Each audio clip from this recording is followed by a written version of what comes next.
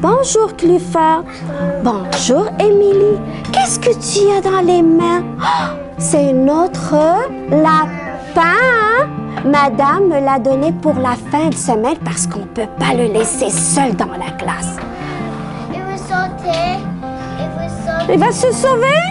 Oui. Oh, c'est triste. Mais non, non, s'il veut toucher, est-ce qu'on peut lui donner la permission d'ouvrir la cage? Non?